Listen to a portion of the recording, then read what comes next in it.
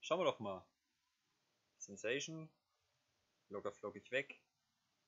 Locker flockig weg. Neu laden. Erneuern. Zack. Kopieren. Gut. Rüstung habe ich komplett an. Passt. Muss ich davon was reinschmeißen? Eigentlich nicht.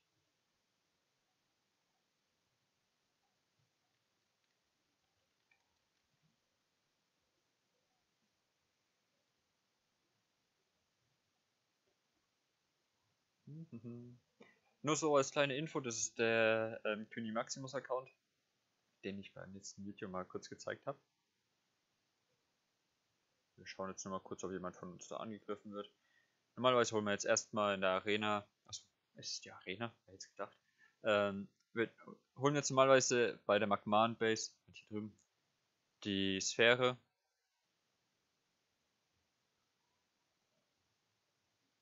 Äh, ja, lass mal so mal kämpfen. Ich greife ja so lange normalerweise nicht an, wie Gegner mich nicht angreifen oder mein äh, Partner, damit. So, ich gehe ja so oder so auf Sieg, aber wird der Partner angegriffen, gehe ich sofort mit rein. Ich meine, das ist hier die Rüstung vom König mit Schulterstücke von Yamo, Streitachs des Mörders, eine Flammeneinfassung, die wundersamen Stiefel. Ich habe vor, das Ganze hier auch noch komplett lila zu machen. Ähm, ja, Panzerheim des Zorns mit Rune, Brustharnisch und Beinschütze auch. Äh, ich bin nur auf Soldat äh, gekommen durch die Arena, genauso mit den ähm, Dienstkirchen. Wartet mal kurz.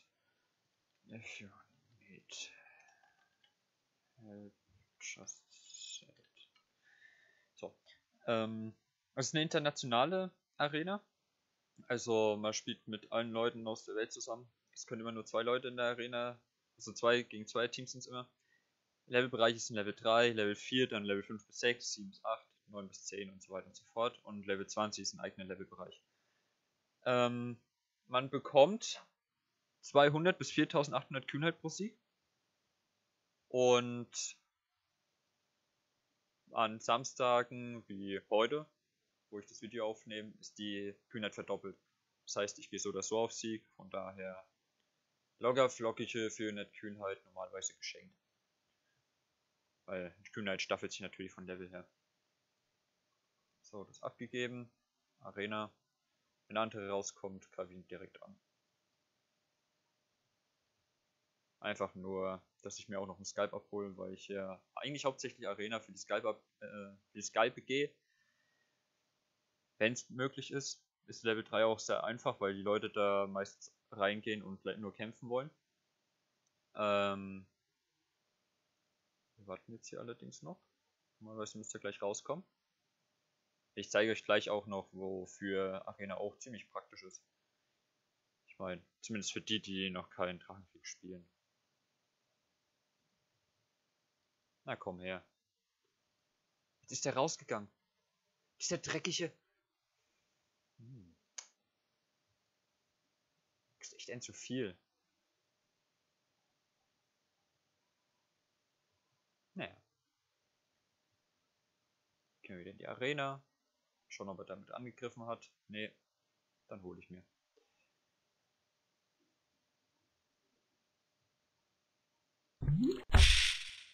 Oh, hat er jetzt was reingeschmissen, ha?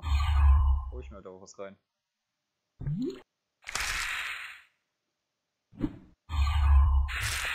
Also jetzt bin ich gespannt. Ich Pech hab, nämlich echt. Alter. Okay, dann machen wir mal langsam hier, ne? Ich habe die bessere Rüstung, aber ich bin nicht hochgebufft. Scheiße.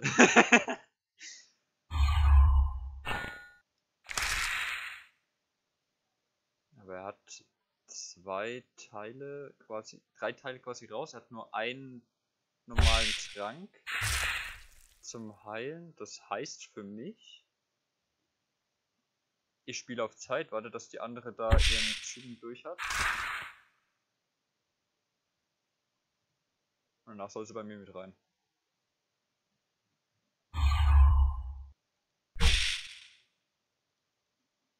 Zack. Und nochmal. Dann auf Block und auf runter.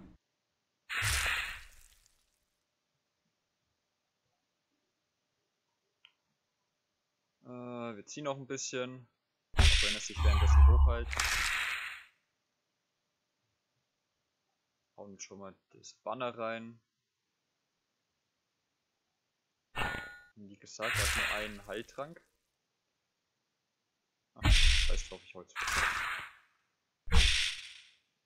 Jetzt kommt der vierte. Genau. Er hat Schriftrollen dabei. Okay. Hör auf. Aufziehen.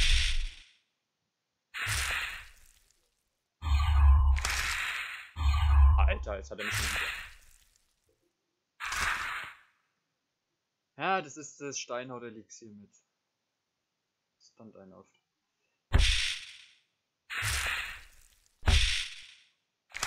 Ja, dann hau ich mir halt danach ein paar Sägen rein und haut drauf.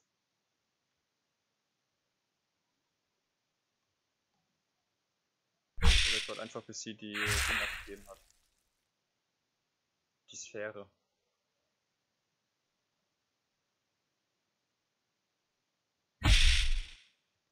Ja, es geht mir gerade ein bisschen gegen den Strich. Weil normalerweise bin ich quasi in der Position hochgebufft wie sonst was und kill alles.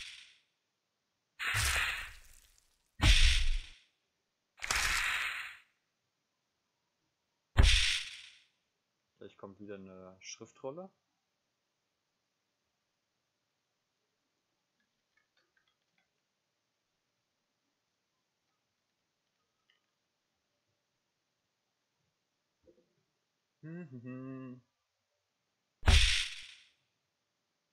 Ja, wenn ich Pech habe, verlieren wir das jetzt. Nur wegen mir. Weil ich mich nicht hochgebufft habe, weil ich nicht drauf geachtet habe, ob er sich Buffs reinschmeißt.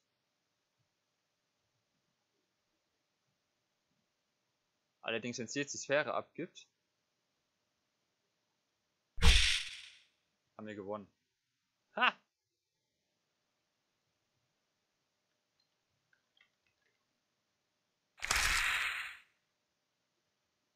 Jetzt hat man ein bisschen. Nice! er hat trotzdem gewonnen.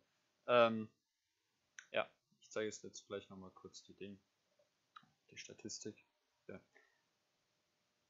Oder ich verkack's, weil ich doppelt draufklicke. Gehen wir nochmal auf die Arena, stellen uns schon mal rein. Aktuelle Schlachtfelder, abgeschlossene Instanzen. Hier. Also. Manchmal groß. Sie hat einen Mack gekillt. Und zwar den da oben. Und hat danach die Sphäre abgegeben. Pro Sphäre bekommt man zwei Punkte. Ich hatte ja auch schon einen abgegeben, das heißt wir hatten vier Punkte. Und sie hat ihn gekillt, das heißt wir hatten fünf Punkte. Dadurch musste ich im Endeffekt nur ziehen. Auch wenn ich ihn dann zum Ende noch besiegt hätte, was aber so ziemlich schnieke war. Und ja, 700 Kühnheit umsonst bekommen. Warum auch nicht. Ähm, ja, worauf ich noch hinaus wollte. Äh, ja, samstags doppelte Kühnheit, pipapo, die Rüstung, genau. Ähm, Arena macht erst dann richtig Spaß, wenn man Nordwind oder Knochenbrecher ist. Also ich bin Knochenbrecher. Das heißt, ich kritte viel und mache viel Damage. Halt dafür nur mittelmäßig aus und weicht eigentlich relativ wenig aus. Allerdings habe ich hier Schulterstücke. Normalerweise hat man Schulterstücke auf Stufe 4. Ich habe die hier mir aber im Auktionshaus gekauft, ziemlich günstig. Ähm, und dadurch einen kleinen Vorteil gegenüber anderen meiner Levelgruppe. Ja, ich meine, man hat gesehen, im Grunde genommen war ich even mit dem anderen, obwohl er hochgebufft war. Und ich am Anfang ein bisschen Schlagen verkackt habe, weil ich es unterschätzt habe. Ansonsten hätte ich auch hier noch meinen Segen des Himmels reingeschmissen und Hurricane Elixir, dass ich öfter kritte und meine Crits sind durch meine Talente, ich sag's auch nochmal kurz, halt Hobbys, Kampffähigkeiten, Talente, hier, äh, sind auch nochmal erhöht, weil ich ähm, Schutz vor physischen Schaden 2% habe. Ich habe 80 äh, Leben mehr und äh, 7% mehr kritischen Schaden teile ich aus, was ziemlich stark in, äh, in solchen Situationen ist. man hat vorhin gesehen, als ich die Sphäre abgegeben habe, dass da unten so ein grüner Text aufgepoppt ist, dass eine Aktivität abgeschlossen ist. Und zwar war das die hier, dass man eine Energiesphäre abholen soll in der Arena und wenn man die abgegeben hat, kann man hier eine Belohnung einsammeln. Das ist dann so ein Belohnungskästchen, das mache ich dann gleich auf. Naja, wenn man fünf solche Aktivitäten abgeschlossen hat, hat man hier dann noch so eine Aktivität, die dann nochmal extra belohnt. Kann ich jetzt auch noch abholen. Und hier unten noch die, wer die Sieger in der Arena der unterirdischen Ritter, hole ich mir auch noch ab. Diese äh, Aktivitäten kommen nur einmal täglich, also alle 24 Stunden werden die resettet, beziehungsweise ab 24 Uhr bis 1 Uhr. Und da bekommt man immer aus den Truhen normalerweise, oh, sogar mal ein Kettenglied, äh, normalerweise halt Segen und ähm, Tränke. Diese Segen sind halt auch in Tränken verpackt, aber meistens halt die guten. Wenn ich denn mal... Oh, ich habe eine Scheiße bekommen. Cool. Ja, die Kristall der Dämmerung, das ist erst ab Level 7. Das ist jetzt noch allgemein für diese Videoreihe auf meinem Kanal irrelevant. Und ja, Kaufmannszeichen, mit denen kann man sich auch noch diverse Sachen im Jahrmarkt kaufen. Und Kettenglied, die braucht man auch später, um sich zum Beispiel einen lila Helm zu machen, der auch gute Stats hat. Aber ich gehe jetzt erst noch mal ein bisschen näher auf die Arena ein. Hier ist nochmal die Seite von der Arena. Man kommt da drüber über den Band Schlachtfeld. Kann eintreten ab Level 3 und geht halt bis Level 20. Besteht aus zwei Leuten jede Gruppe. Also sowohl Magman als auch Humi-Seite und man kämpft halt dann gegeneinander, bis man 5 Punkte erreicht. Wie schon gesagt, zwei Punkte für jede Sphäre, die abgegeben wird. Jeder Spieler kann nur eine Sphäre abgeben. Das heißt, es wird am Ende 4 gegen 4 stehen und danach ein Kampf, ähm, welches Team quasi besser ist. Normalerweise bin ich mit jemand anderem immer in der Arena, aber der hat zurzeit ein bisschen weniger Zeit. Und deshalb bin ich da solo gelistet zurzeit. Die, mit der ich vorhin da gespielt habe, die ist eigentlich, ja, auch ganz okay. Ist gut dabei mit der Rüstung. Sie hat eine blau, komplett blaue Rüstung für ihr Level.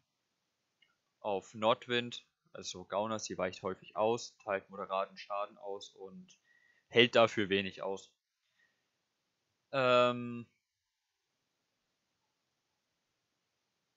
in den vorherigen Runden, die waren, ich kann da mal kurz eine zeigen. Ah ja, nicht, dass euch wundert, das hier ist auf dem Google Chrome Teil, weil, ja, ich meine, ich brauche meinen Klienten gerade nicht, deswegen habe ich es deswegen gemacht. Hier, das ist eine vorherige Instanz mit der Arena wo ich auch sie dabei hatte, ähm, die mal kurz zeigt, wie es normalerweise in dem Levelbereich abläuft. Ähm, wir kamen aus unserer Base raus. Ich zeige nochmal kurz Karte, Welt. Ich zeige nochmal kurz, wie die aufgebaut ist. Und Instanz ist es. Äh, Arena, Arena, Arena.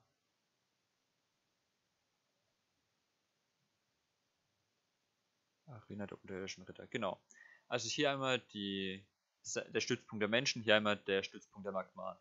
Man trifft sie am Anfang in der Mitte und geht normalerweise, ohne sich zu behelligen, die Magman auf, auf die Menschenseite, die Menschen auf die Magman-Seite, holen sich jeweils die Sphäre, gehen wieder zurück, geben die Sphäre ab und dann wird halt gewartet, bis alle abgegeben haben und danach wird gekämpft. Ähm, ab Level 4 gibt es noch eine Quest, da kann man dann hier in der Mitte in der Arena ein alle paar Tage ein Mob töten. Der gibt nochmal Reputation, aber über Reputation mache ich noch später ein Video.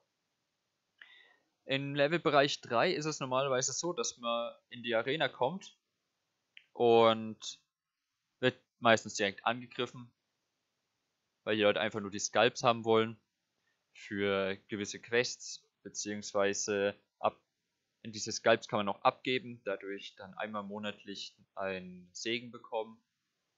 Und gleichzeitig sammelt man damit auch gute Erfahrung, äh, Erfahrung sag ich schon, gute Kühnheit. Allerdings, mir schon gesagt, ich warte aus Solidaritätsgründen, dass die anderen die Sphäre abgegeben haben, außer sie greifen mich direkt an.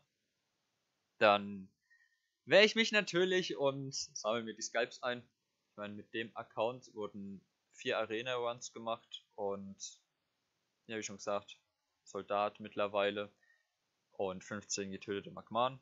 Allein in der Arena da habe ich fünf getötet, also quasi beide zweimal und ihn hier am Ende nochmal, weil er mich jedes Mal direkt angegriffen hat, wo ich nicht wusste warum. Am Anfang waren es sogar zwei Minuten ähm, alleine gegen mich, weil der zweite Mensch, der sich, so, Zeit auf der Menschenseite, ne, der sich gelistet hat, hat mich angenommen. Dann wartet das Spiel meistens etwas kurz, bis es den nächsten reinzieht, beziehungsweise bis sich einer einzeln meldet. Man kann ja auch als Gruppe melden, allerdings kommt man dann nur als Zweiergruppe dann auch rein. Ähm, ja, da wurde dann der nächste reingezogen, das war halt die Lucina da. Jetzt zeige ich nochmal kurz ihre Rüstung. Ja, okay, sie hat jetzt gerade wieder alles ausgezogen. Sie hat halt alles in Nordwind und von daher, wie schon gesagt, eine gute Rüstung eigentlich. Ähm, haben die sich angezogen oder sind die schon wieder nackt? Ja, bei ihm sieht man es nicht, aber er hat, wenn ich mich nicht täusche, auch Nordwind. Ich schau mal kurz, was ich für Stats habe. Nein. Doch. Nein, nein, hat er nicht. Er hat wie ich Knochenbrecher allerdings eine andere Rüstung. Also noch nicht so gute. Oder er hat seine Talente noch nicht so hoch. Und ja, er hier auch in Knochenbrecher. Ähm, wie schon gesagt, er hier vom deutschen Server war der Meinung, mich dauernd anzugreifen. Ich fand's okay. Ich habe in der Arena 5000 Kühnheit gemacht. Das war fast alles für meinen Soldatenrang. Und gleichzeitig halt die 5 Morde, also die 5 Max getötet, was mir 5 Skalbe eingebracht hat, was ich später definitiv noch brauchen werde. Aber das war's jetzt erstmal, was die Arena angeht. Ich werde natürlich noch Videos über äh, die Kristalllöhle und über den Tempel machen und auch öfter mal Videos dann von der Arena wieder hochladen, wie es dann abgelaufen ist, beziehungsweise äh, von dem Gameplay an sich, wo ich dann auch mal voll gebufft ein bisschen um mich rumschlag und mal zeigen kann, wie das meistens eigentlich aussieht. Und das war's erstmal von mir. Ich hoffe, das Video hat euch gefallen und schaltet beim nächsten Mal wieder ein.